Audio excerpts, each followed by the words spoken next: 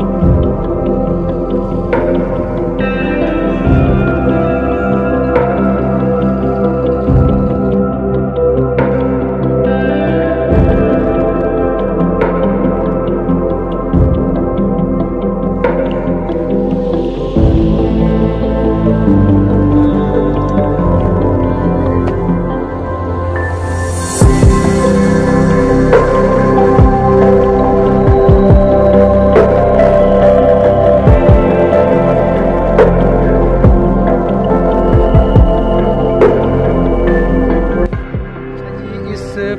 Story कुछ यूँ है कि पुल के इस तरफ़ मीरपुर सिटी है, ये सारा।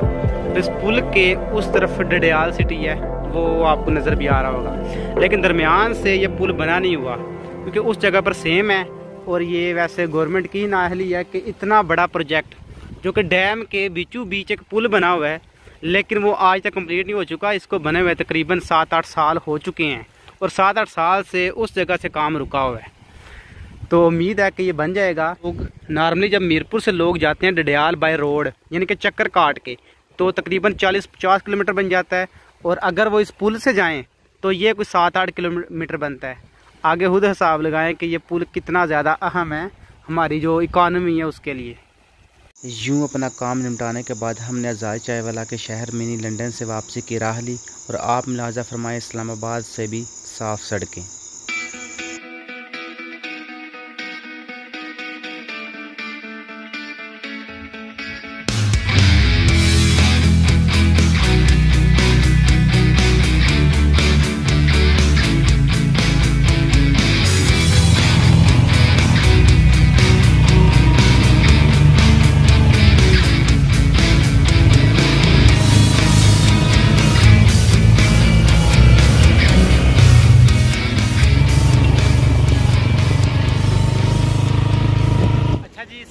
ऐसे हैं कि मीरपुर के रास्ते में एक जगह आती है जातला। तो अभी मैं उधर मौजूद हूँ।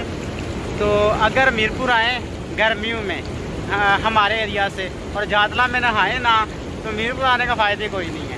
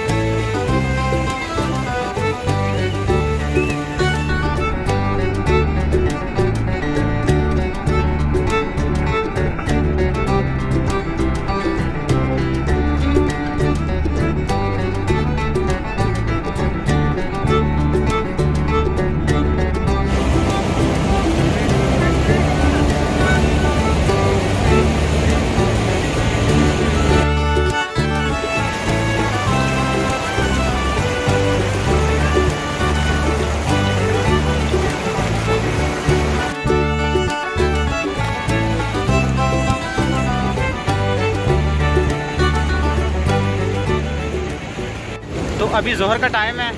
अभी नमाज़ पढ़ते हैं जहर की। नमाज़ पढ़ के इसी पानी में डुबकी लगाते हैं। आपको सीन्स भी दिखाते हैं। तो पहले मैं वज़ू कर लूँ।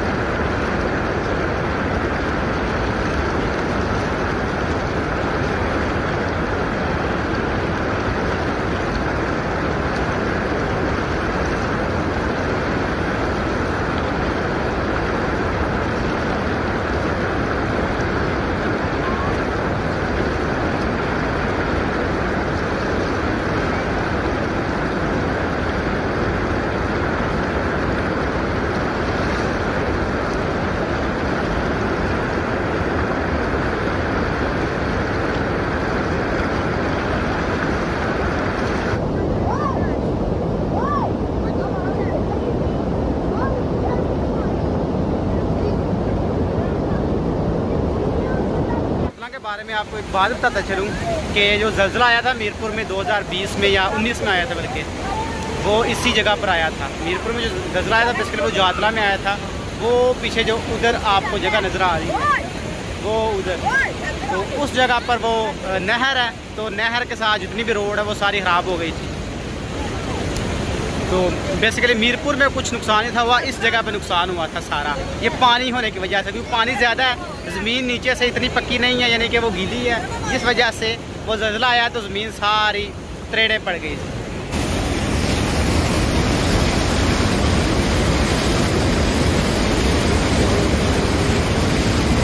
जी तारी हमने तो लगा ली है, पूरे मज़े से तो ठंडे हो गए हैं। अब कुछ खाते पीते हैं और खा पी के घर गिरा लेते हैं और उधर ही ब्लाग को साथ ही एंड करेंगे।